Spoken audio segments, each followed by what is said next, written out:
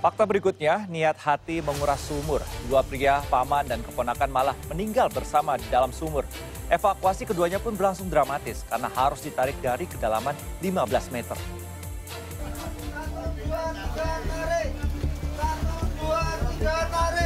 Di sumur sedalam 15 meter inilah petaka terjadi.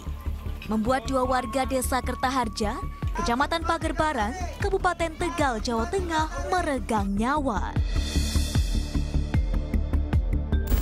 Dua warga belakangan diketahui adalah paman dan keponakan. Sang keponakan, Tarsono, tengah turun ke dasar sumur untuk menguras menggunakan mesin diesel. Namun diduga pingsan karena terlalu pengap dan minim oksigen, Jajuli, pamannya, ikut turun. Tapi malah ikut-ikutan pingsan. Hingga akhirnya keduanya meninggal bersama.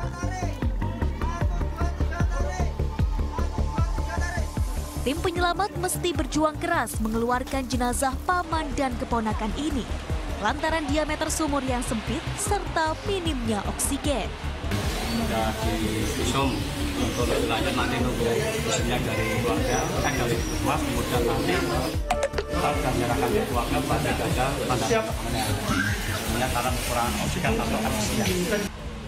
Isak tangis anak istri korban pecah saat jasad Tarsono dan Jajuli berhasil dievakuasi.